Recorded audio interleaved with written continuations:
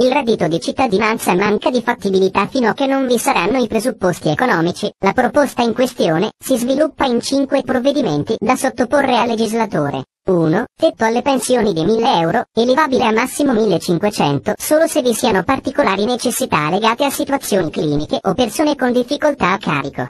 2. Fiscalizzazione della prostituzione con conseguente emersione del sommerso e imposta IVA del 50% e obbligo alle meretrici di sottoporsi ad analisi mediche settimanalmente in cliniche pubbliche a proprie spese e obbligo dei versamenti contributivi alla cassa previdenziale.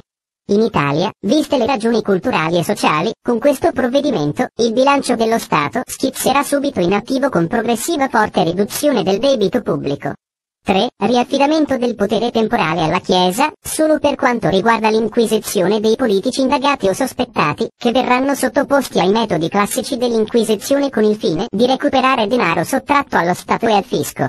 La Chiesa sarà anche autorizzata ad interrogare e porre ad arresto nelle segrete i vertici delle banche e i membri delle fondazioni politicizzate nelle amministrazioni, con il fine di fare chiarezza sul ruolo da loro svolto e sui meccanismi che hanno portato alla sottrazione di denaro pubblico.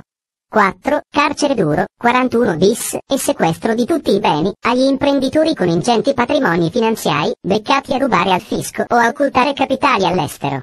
Il 41 bis verrà commutato in carcerazione ordinaria solo quando sarà certo l'avvenuto recupero di tutti i patrimoni occultati all'estero. 5. Dimezzamento del numero di parlamentari, senatori, consiglieri regionali, dirigenti nella pubblica amministrazione. Accorpamento dei comuni con esiguo numero di abitanti, cancellazione di enti inutili, come ad esempio le comunità montane.